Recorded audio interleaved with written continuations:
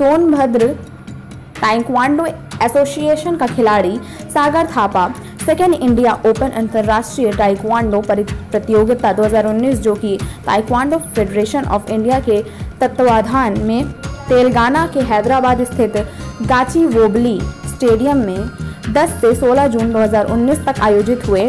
में बेहतर प्रदर्शन करते हुए फाइनल मैच को जीतते हुए स्वर्ण पदक पर अपना कब्जा जमा लिया। सागर थापा ने ताइक्वांडो कोच राहुल कुमार गुप्ता के हवाले से मिली खबर के अनुसार Sagar Thapa junior age group के अंडर तिहत्तर किलोग्राम की वेट कैटेगरी के अंतर्गत खेलते हुए फाइनल मैच तक की प्रतिस्पर्धा को समाज समाजनक तरीके से लगातार विजय प्राप्त करते हुए न सिर्फ़ स्वर्ण पदक पर अपनी दावेदारी ही दिखाई है, बल्कि अपना कब्जा भी स्थापित किया है। सोनभद्र जनपद के ताइक्वांडो के क्षेत्र में यह पहला अवसर है कि ताइक्वांडो का कोई खिलाड़ी अंतर्राष्ट्रीय स्तर पर पदक विजेता हुआ है।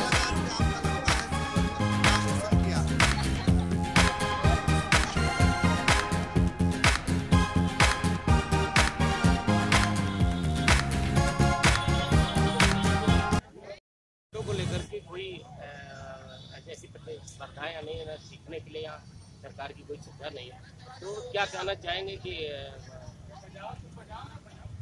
क्या कहना चाहेंगे आप? ये कहना चाहेंगे कि अब अभी मेडल इन्होंने लाया तो कुछ इम्प्रूवमेंट होना चाहिए सरकार सहायता करनी चाहिए। अभी अगर सार सरकार सहायता नहीं की तो अभी नेशनल इंटरनेशनल में मेडल ला रहे हैं अगर सरकार सहायता करेगी तो ओलंपिक में भी जा सकते हैं। क्या प्रतिस्पर्धाएँ थी वहाँ पे जहाँ ये आप लोग गए थे तो वहाँ पे अदर कंट्री से भी आए थे जैसे सऊदी अरेबिया अफ़गानिस्तान और ऑस्ट्रेलिया ऐसे जगह से और भी लोग आए थे। इसकी चौबीस चौबीस देशों के लोग वहाँ पे पार्टिसिपेट सोनभद्र में टाइकांडो को लेकर के कोई ऐसा सरकारी ऐसा सुविधा नहीं है लेकिन फिर भी आप ये गोल्ड मेडल जो जीत के लाए क्या कहना चाहिए आप?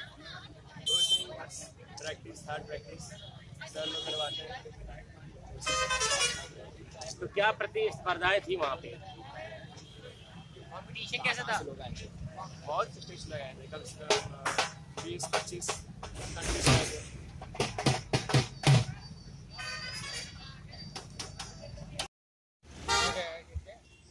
क्या है सर ये लड़का?